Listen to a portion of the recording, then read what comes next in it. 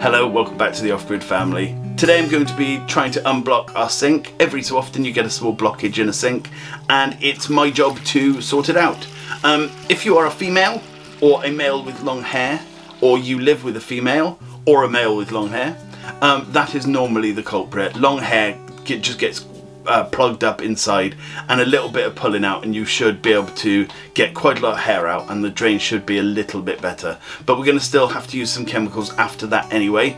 But first off I will physically remove what I can and then we'll go from there. Before we start thank you so much for Paul David and Simon my patrons. Your support is awesome and it really does help out the channel if you are interested in becoming a Patreon yourself, pop into the description below and there is a link to Patreon. There are behind the scenes videos, there is early access stuff, and there is polls on deciding what we're going to do video wise in the future.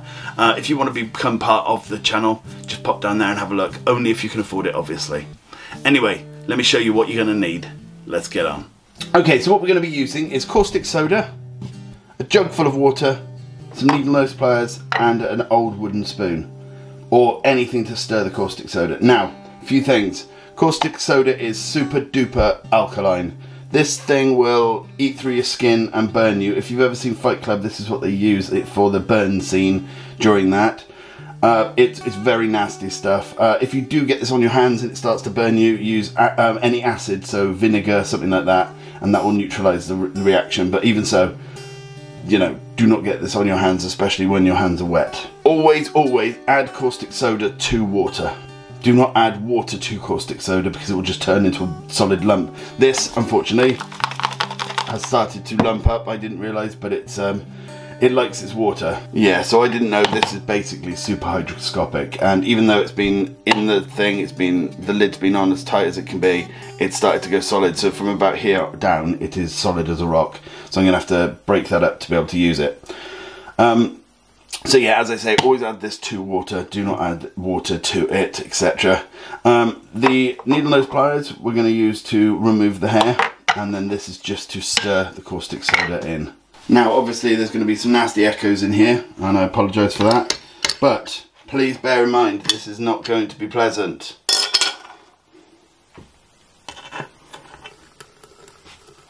But there will be lots and lots of hair. It's, it's inevitable.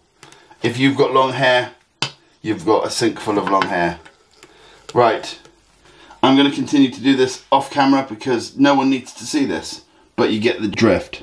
Just from unclogging some of the hair, you should notice that there will be a slight difference with the speed at which the water will go down, but that's not, you know, that's not where we're finishing, so give me a sec. So now I'm going to open the caustic soda, and I would advise wearing gloves, and I would also advise wearing um, eye protection, and if it's going to go everywhere, I would also advise wearing some form of mask, because this stuff, as I say, is very nasty. Right, I'm going to tip a whole chunk of this stuff in. Basically all that's left it looks like apart from the solid bit at the bottom. And then I'm going to start mixing. Now this is an exothermic reaction so at the moment it is 26 ah,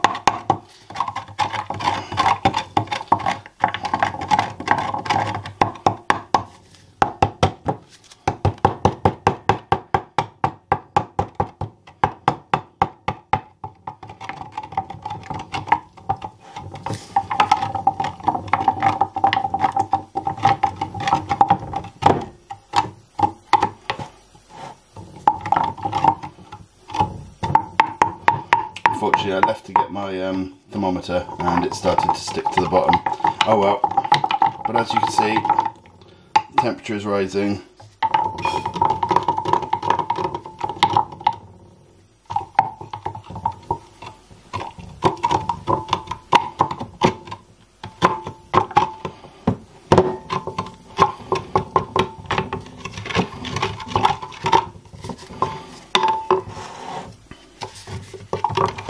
Now I tend to keep mixing until it goes clear.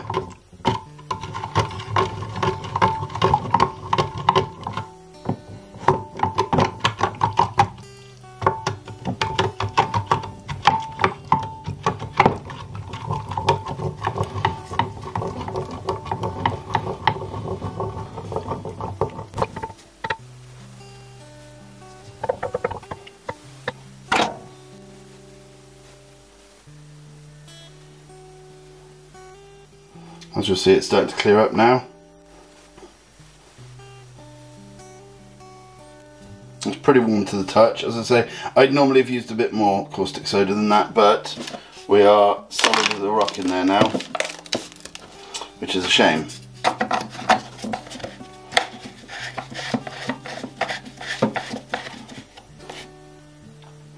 Okay, now we're ready to use it. Right, now very carefully and very slowly, you want to pour this. So basically gets a chance to, you know, break down all of the nasties in there.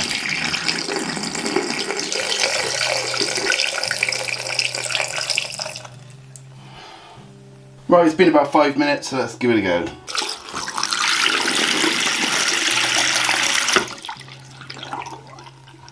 Much, much better.